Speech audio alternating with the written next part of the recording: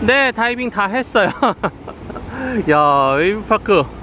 파도 보니까 또 파도도 타고 싶네. 에이. 아, 이런 식으로 옆에 또 이렇게 어린이들 놀 수 있게 이걸 해놔가지고 여기도 괜찮은 것 같아요. 이거 다이빙 이용하면은 여기도 무료로 이용할 수 있대요. 아, 이 보드 여기는 안 되고 이건 별도고 안에 안쪽으로 그 시설물 같은 게 많이 그러니까 구조물이 있어요. 그 인어공주도 있고 에, 인어공주는 아니지 인어도 있고 거북이도 있고 어, 아네모네 빛이 그러니까 니모도 있고 아주 재밌어요.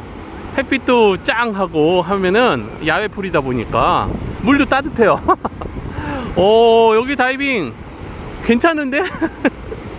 원래 fun diving은 75,000원이고요.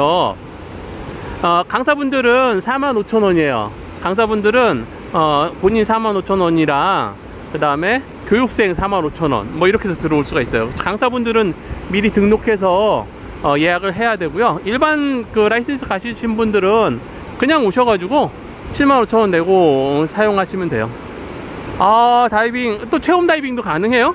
어 보니까 또 밑에 내려가서 사진도 찍을 수 있으니까 어 무척이나 좋은 것 같아. 어 괜찮아 괜찮아. 우리 동네 가까워서 그냥 물맛 보려면은 여기 괜찮은 것 같아요. 너무 좋아요.